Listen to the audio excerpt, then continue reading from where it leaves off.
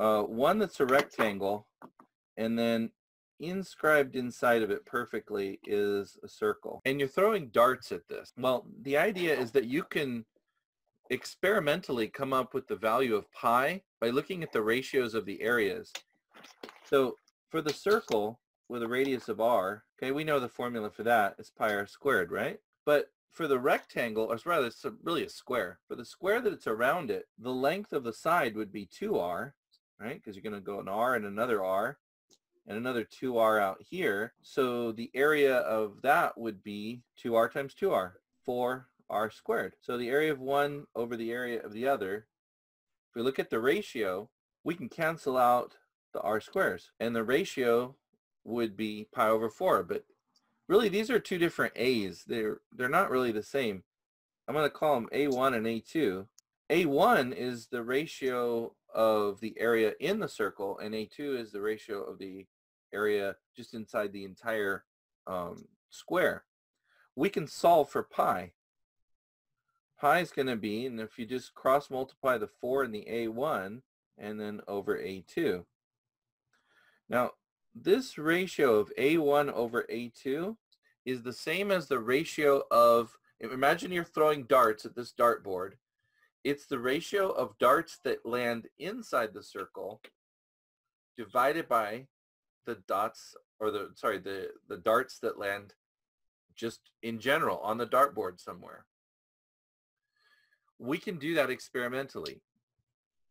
Okay, so let me take this.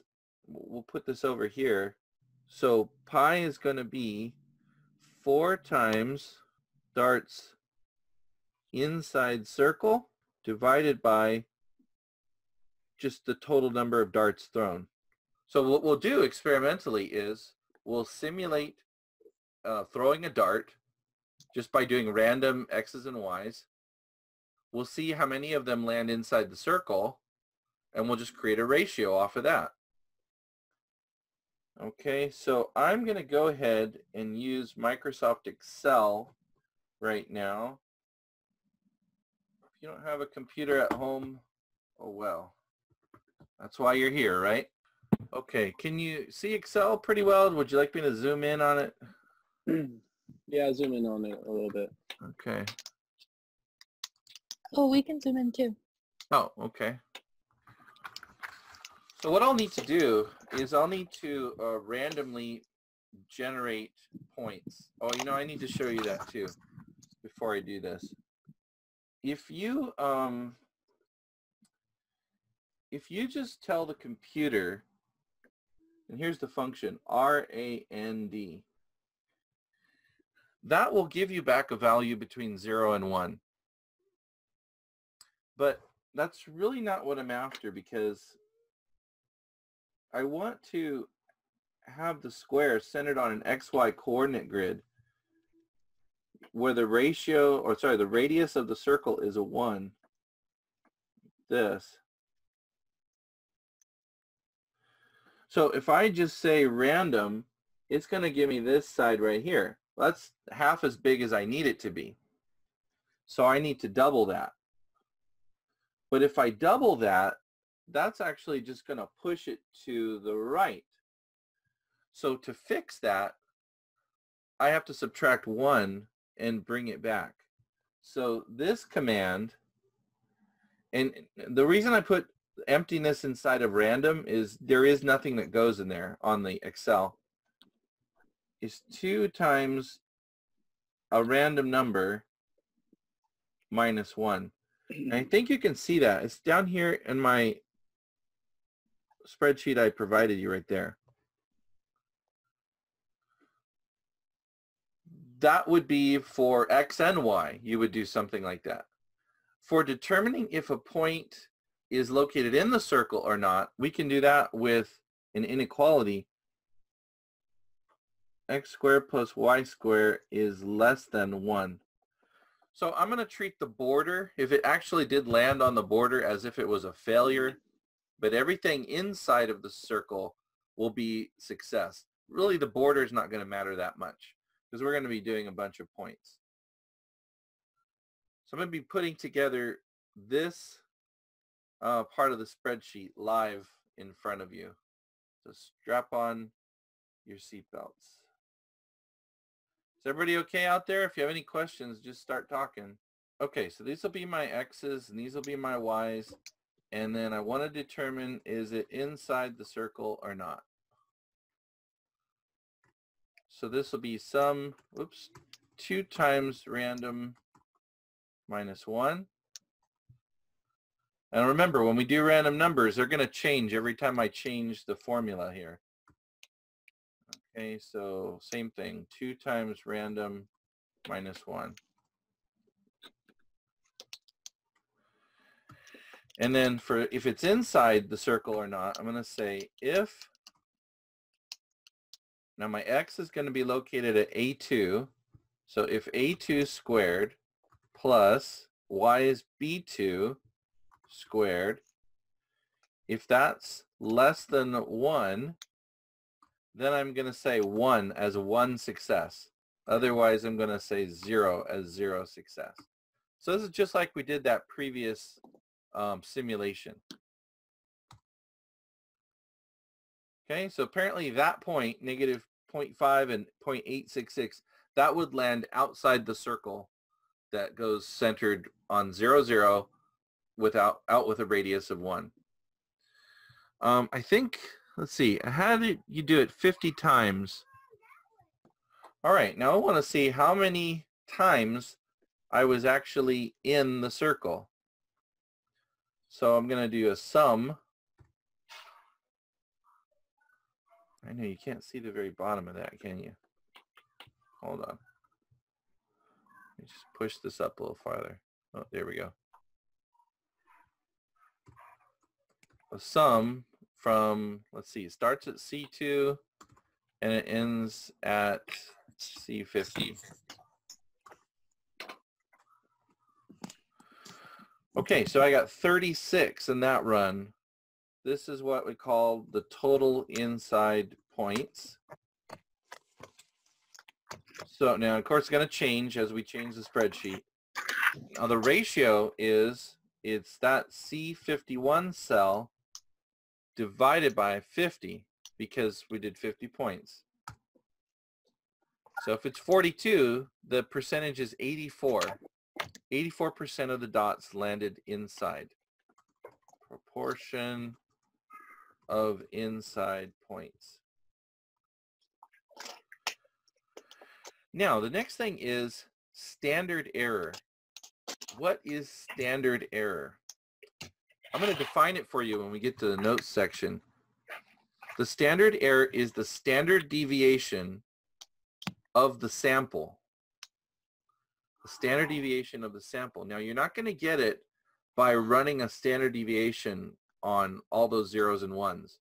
What you have to do is you have to use a formula that we talked about in the last lesson.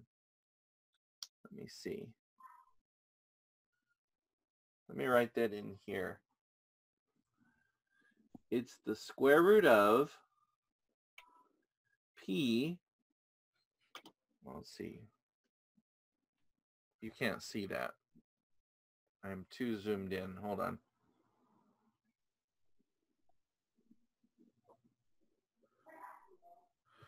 The square root of p times 1 minus p over n.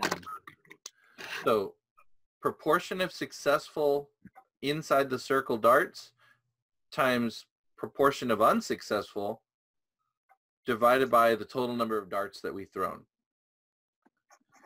So let me go back to the spreadsheet and we'll calculate that in. So remember this cell looks like it's C52 is containing, I have to start with the square root, C52 times 1 minus C52 and divided by 50 because it's fixed at 50. Okay, this is called the standard error.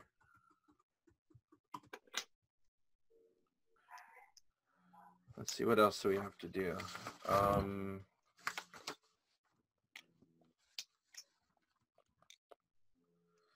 okay, so the what lower endpoint would we get? uh, I'm trying to make a 95% confidence interval. So let me take you back earlier in our course.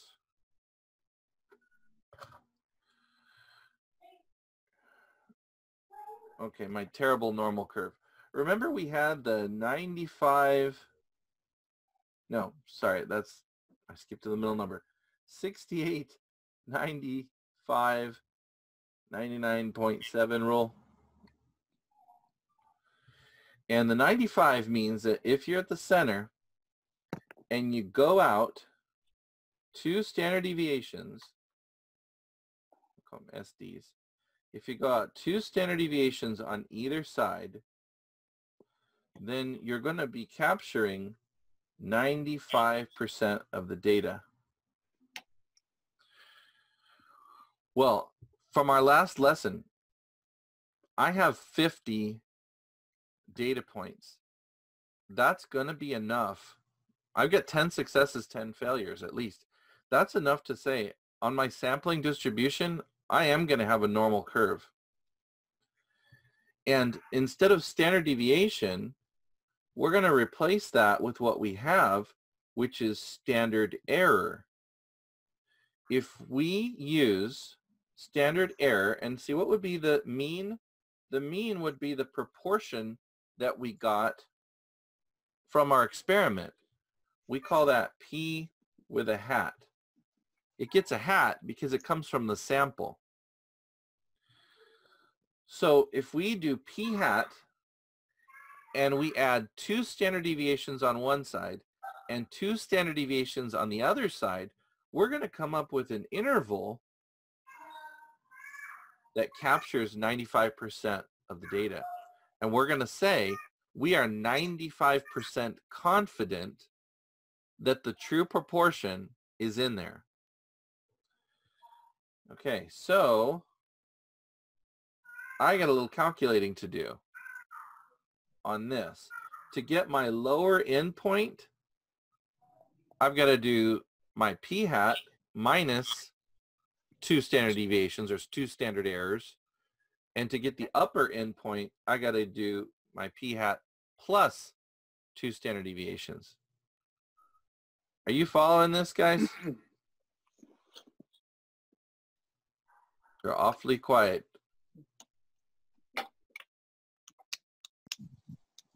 I think we're good. All right.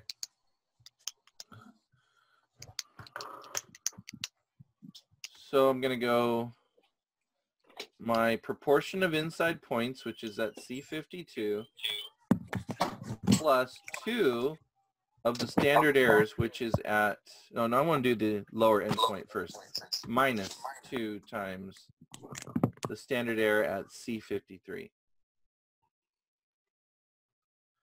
Okay, there's my lower endpoint. Then for the upper endpoint, I want to go back to C52 and this time add two standard errors, which is at C53. And there's my upper endpoint. Okay, so now we're up to the point where now how do we get the estimates for pi itself? Well, remember what I just showed you back up here at the very beginning of the lesson? This formula, this part right here that I'm circling in blue, that is p hat.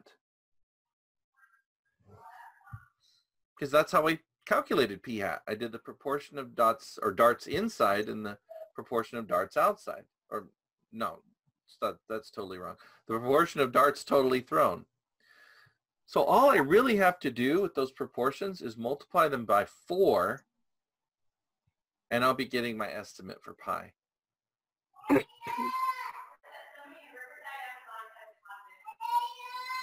so whose kids are yelling in the background? That's cute. If you want to, you can mute your uh, microphone. Or you can just let us hear the screaming kids. That's always fun.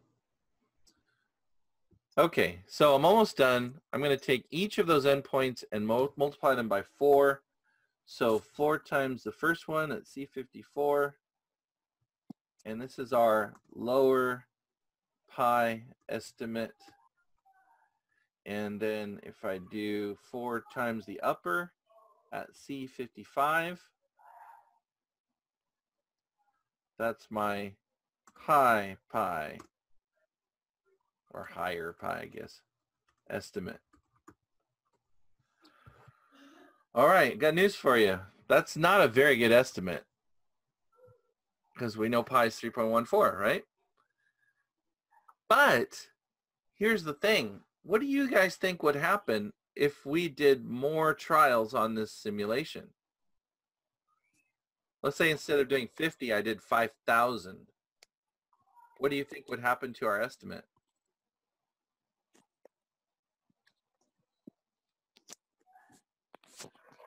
Anybody?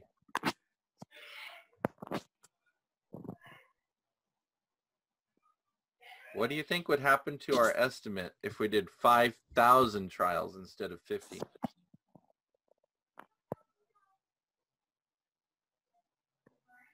Okay, raise your hand if you think it would get closer to the actual value of pi.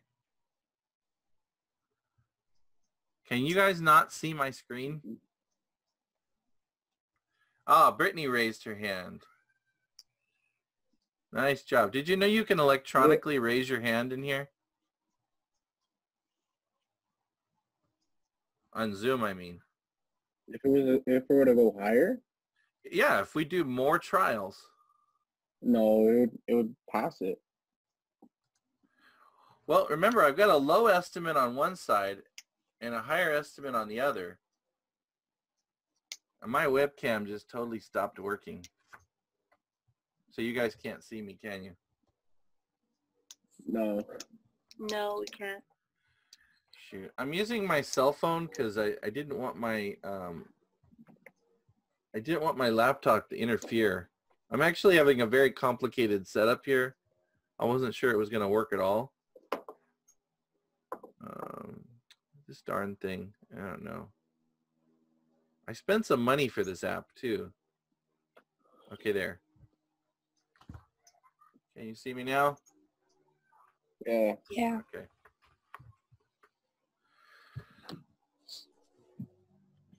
So you've got a low estimate of pi on one side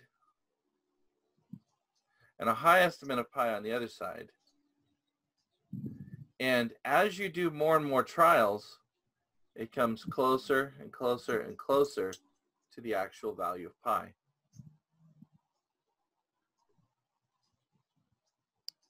So how do you increase your accuracy? You would think you would just increase your confidence. Oh, I want to be 99% confident, right? Really the statistical answer is you have to increase your number of trials to become more confident or sorry, more accurate. So yeah, those are not so great. Um, but I'm going to go ahead and put those in on the worksheet now. So let's see, my p hat was, I'm going to stick with 0.78. My 95% interval went from about, let's say 2.65 to 3.58. Five, 3.58. The lower, nope, sorry, that's totally wrong. It's the decimals. It's 0.66 to point, I'm going to round that off to 0.90. 0.66 to 0.90. My low pi estimate was 2.65, 3.58.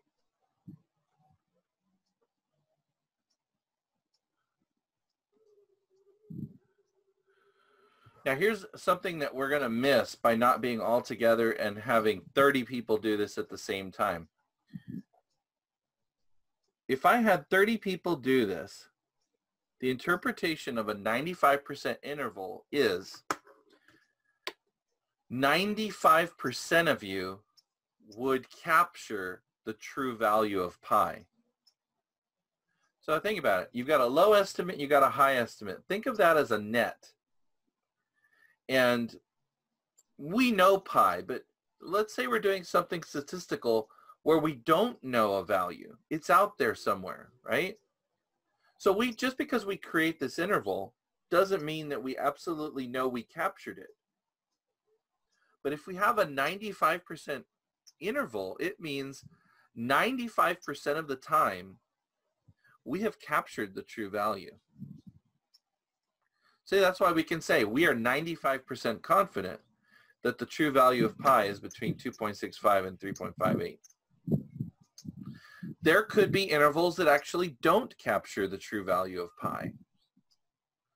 Um, and we have to think outside of, okay, we know what pi is. Remember, we're after values in statistics that we don't know, that are unknown to us. All right, so anyway, I know it wasn't the greatest of lessons, especially not being there in person, but do you at least get the idea of how we created the interval?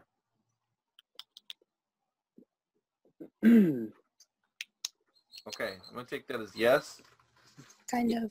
Kind of. Okay, well, well, we're going to go to the notes part and see if we can clear that all up, okay? All right.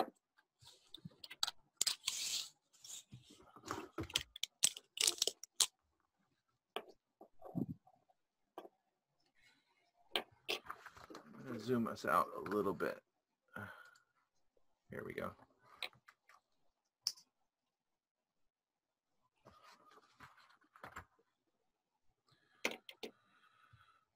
Okay, two things, two big ideas.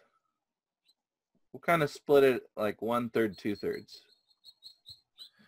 The standard error. Zoom in a little bit. Standard error.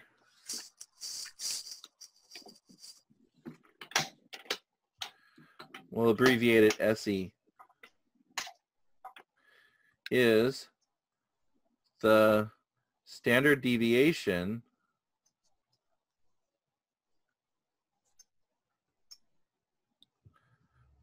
of a sample.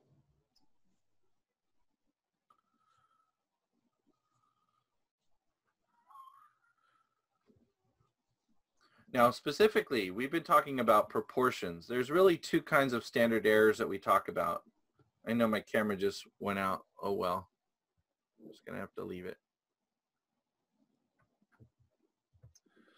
the standard uh, error of a mean and the standard deviation or standard error of a proportion.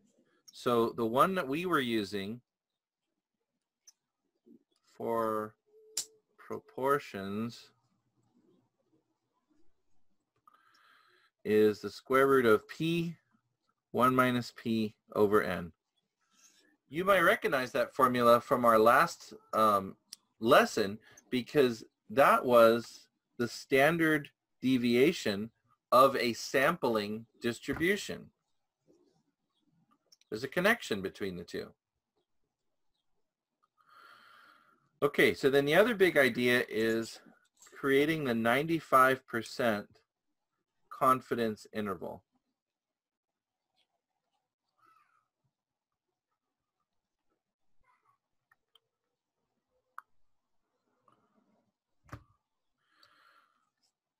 So I'm just going to remind you that p hat is the proportion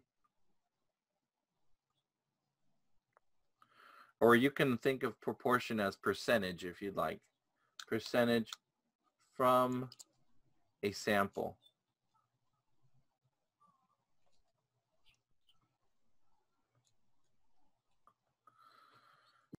So p hat plus or minus two standard errors. Or written as an interval notation, p hat minus two SEs and p hat plus two SEs.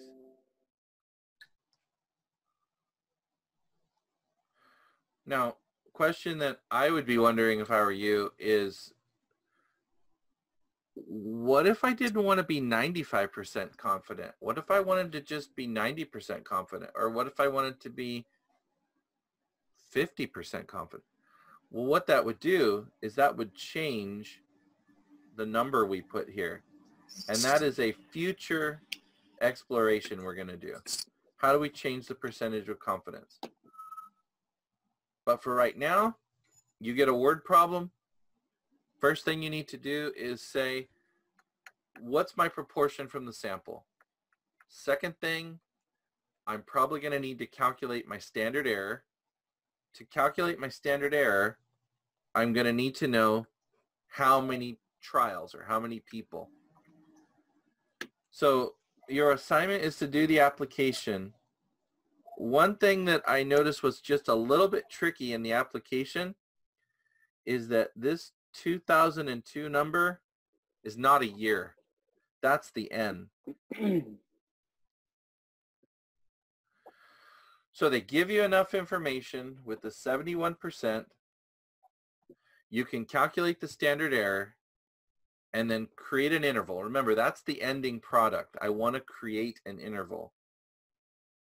And then on number two, now we're going to shrink the number of people who participated. Think about what that would do to our estimates. Are we going to get better estimates or worse estimates? I mean, it's pretty obvious, right? we always say if you can, more is better. So actually calculate the new interval. You'll have to go out to three decimal places on that to really see a difference. Um, but I don't think that this is too, too hard. One last thing I want to leave you with um, before you have any questions for me or we'll end it is how do you answer these kind of questions? There's a format you always answer them in. You say, we are blank percent confident that, and then here you put in some context. In other words, what are you talking about is in the interval and then stated in interval notation like this. And that's how you answer every one of those. Normally in class, Will I don't know if- what's that? will this be mandatory or will this just be if you want to come on here and look at the notes? Look at you doing the notes or Um, you mean is watching the video mandatory? yeah, like coming on Zoom and being part of the group chat. Uh, no, I, I just thought if from your perspective, it might be a better experience because it could be more interactive. okay. Um, like I said, I'm just, I'm going to repost the video on YouTube and then I'll, I'll put the link in the Google Classroom. So